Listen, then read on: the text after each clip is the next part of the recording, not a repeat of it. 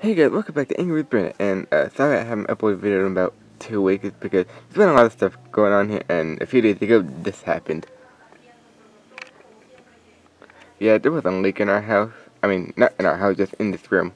Oh, and once again, yes, our room changed again. See, it looks beautiful, right? And I haven't shown you fully, but look, it did change again. Yeah, anyway, uh, I'm gonna uh, tell you something about what's gonna happen in videos, and oh yeah, I finished with episode three. Uh, yeah, I finished episode three, and I'm gonna upload it after this video because I don't want to keep uploading Angry Birds and the Rabbit series. And, oh, I want to tell you this: is uh, is there gonna be an Easter special for Angry Birds and the Rabbits? And the answer is, uh, no. I don't think. I don't think there's not gonna be an, an episode of Angry Birds and the Rabbits for an Easter special.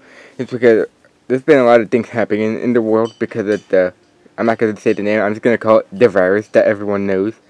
Yeah, I'm just going to call it that. Yeah. Anyway, I can't really do an Easter special on that because I don't know if we're going to celebrate Easter or we're going to do a video about it because of the virus thing that everyone's talking about.